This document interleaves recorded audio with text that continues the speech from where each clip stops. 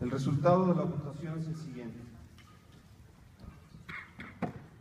El ciudadano licenciado José Carlos Guerra Aguilera obtuvo un voto.